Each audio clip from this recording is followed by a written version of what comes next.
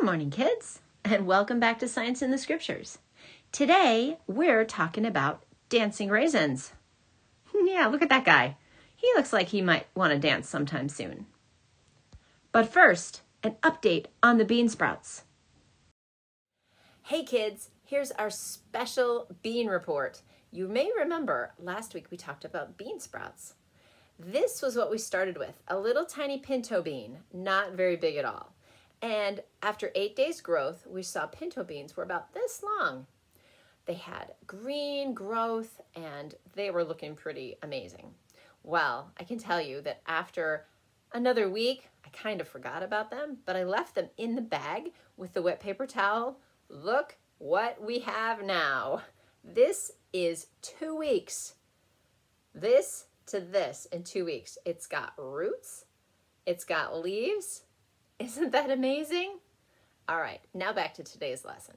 So, first, just a little history for fun about these guys. They're called the California Raisins, and they were originally created in 1986. Sun-Maid, one of the biggest raisin companies, um, wanted to make a commercial. One of the writers came up with the idea for the new raisins, saying that they tried everything but dancing and singing raisins.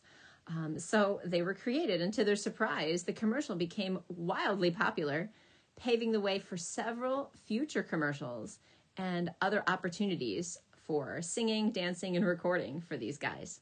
We'll talk about why they're dancing in a moment. For our experiment and lesson today, have you ever had a blah kind of day? A day when you're just not feeling it? Kind of like these raisins. They have that sinking feeling. I'm dropping these raisins into plain tap water. But what if we added some bubbles? Hmm. Instead of tap water, I'll drop them into carbonated water. Carbonated water is what we find in most sodas or pop. It's what makes your drink fizzy or bubbly. Let's see what happens. Hmm. The raisins gather the carbon dioxide bubbles when they get to the bottom of the glass. The bubbles stick to them. Then they float up to the top because of the bubbles. The bubbles connected to the raisins make them lighter or less dense than the water, so they rise to the top. When they get to the top of the glass, the carbon dioxide bubbles escape. They pop, so to speak, and the raisins fall back to the bottom of the glass to collect more bubbles. I'd like to talk today about how we can go from being down to feeling up again, just like these little raisins, and how we can help others too. The Bible says in 1 Thessalonians 5:11, "Therefore, encourage one another and build one another up, just as you are doing."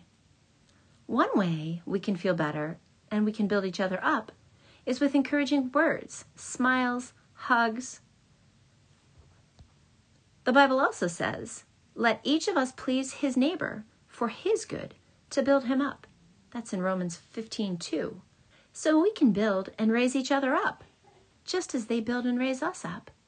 God didn't create us to be by ourselves, He created us to be in fellowship with other people that love Him.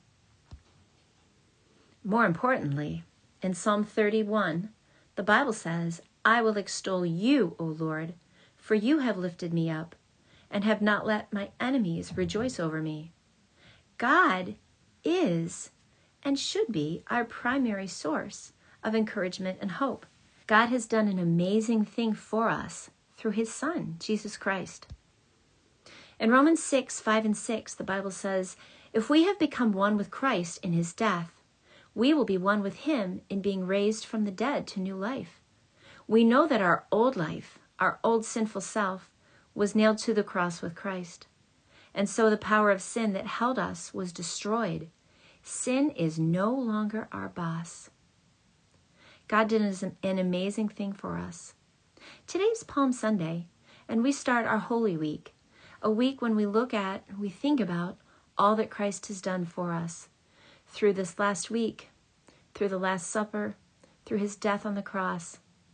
and through his resurrection on Easter Sunday when he defeated death and he lives and reigns forever and ever.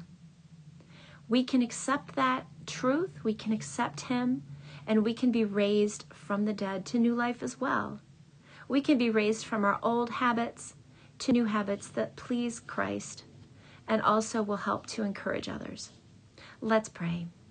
Lord God, we thank you for the gift of life. We thank you for the gift of Christ. God, I thank you for the sacrifice he made so that we can be with you forever. God, I thank you that you raise us up every day when we're with you, when we talk with you and read from your word.